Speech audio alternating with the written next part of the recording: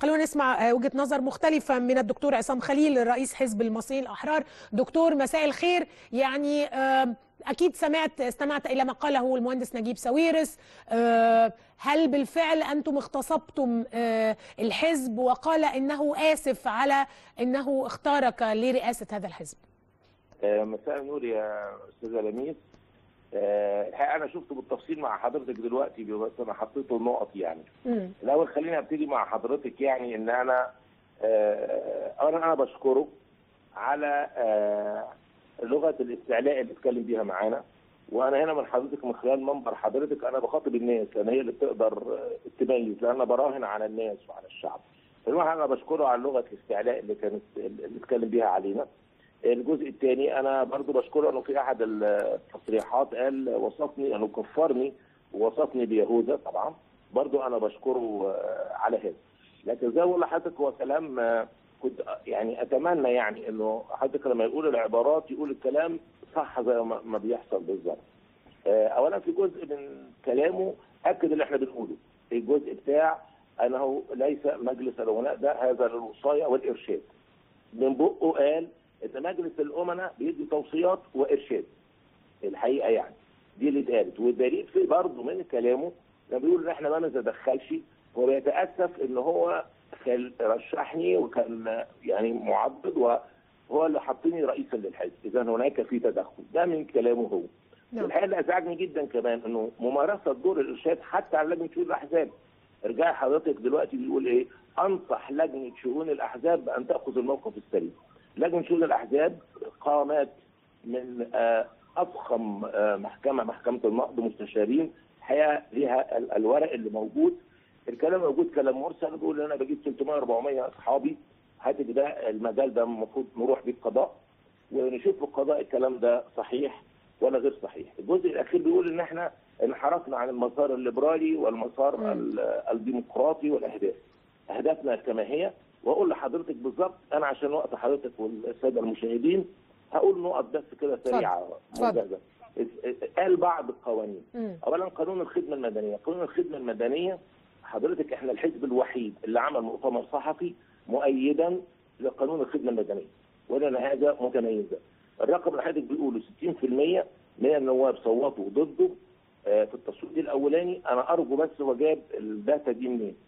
الحقيقة يعني في بعض منهم بعدها على طول إحنا قعدنا معاهم لما حصل عليه المرحلة الثانية من التصويت قبلها وسمعناهم.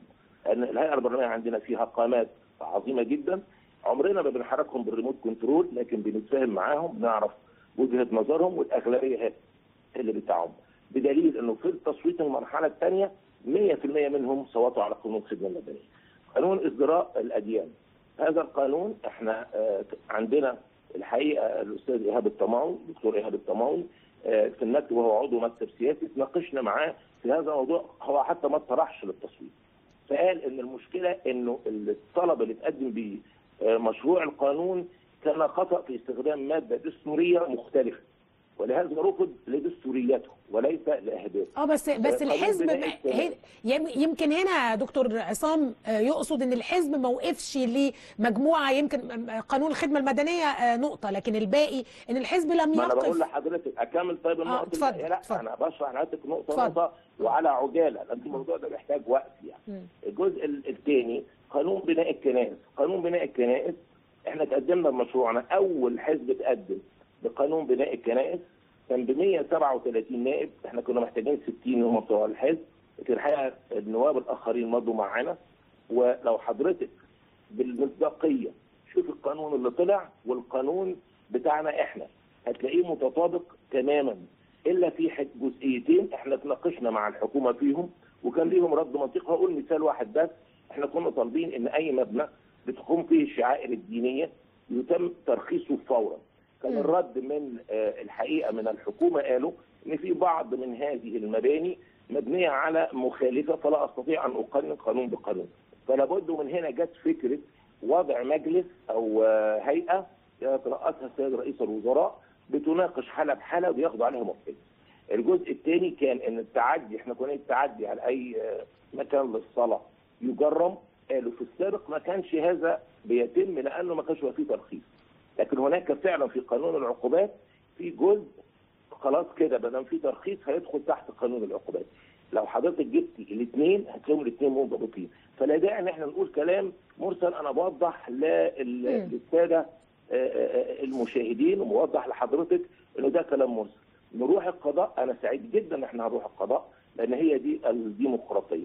أنا كده بيتهيألي غطيت معظم النقط آه هل ما كانش في طريقة. تانية يا دكتور عصام ل يعني يعني مهندس نجيب هو مؤسس هذا الحزب آه، آه، وحضرتك يعني وانتوا كنتوا مع بعض فترة طويلة ومشوار طويل هل ما كانش في. طريقة تانية ال- بدل هذا الصدام آه، اللي الحقيقة يعني كلنا منزعجين منه لأن الحزب المصري الأحرار ده حزب مهم حزب ليبرالي حزب يعني عليه آمال كبيرة جدا هل ما كانش في طريقة تانية لتصفيه الخلافات حتى لو كان في خلافات في الرؤى بحيث إنه مؤسسي الحزب يفضلوا موجودين وأنتوا وحضرتك رئيس الحزب ما كانش في طريقة تانية؟ وأنا حضرتك أشرح لحضرتك لأنه اللائحة القديمة ما هو لو شرحت للناس مجلس الامناء وفصوله.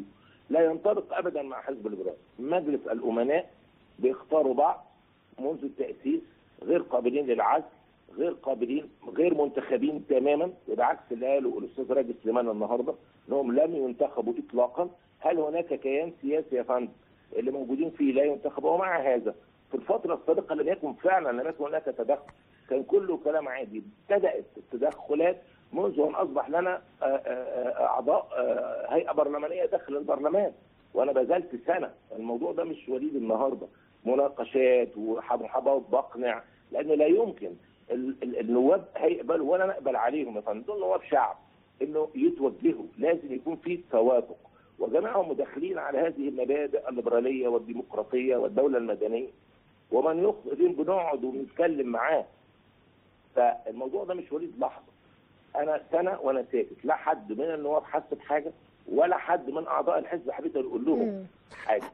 ازعجتك أز- أزعجتك كلمة يهوذا؟